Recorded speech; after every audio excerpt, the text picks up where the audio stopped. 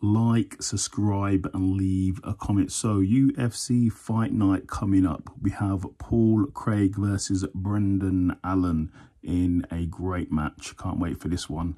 Um, Brendan Allen's number 10 ranked middleweight. He's doing very well.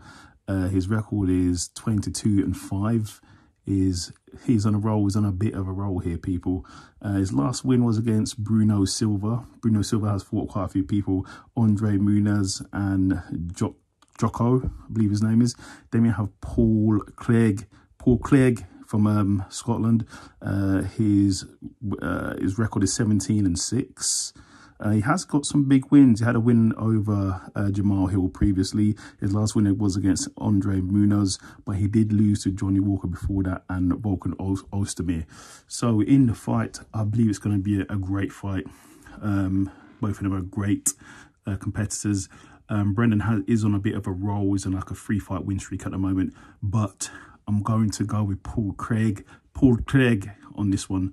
Um, I see him hitting a submission. He's a top level submission artist. Brazilian Jiu Jitsu is top of the food chain um, for the middleweight division. I'm going to go with Paul Craig on this one. I think he's going to get it done. What is your thoughts? Leave a comment.